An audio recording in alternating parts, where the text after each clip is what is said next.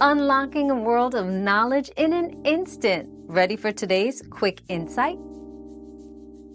A low-grade fever in children is generally considered to be at temperatures between 99.5 degrees Fahrenheit, 37.5 degrees Celsius, and 100.4 degrees Fahrenheit, 38 degrees Celsius.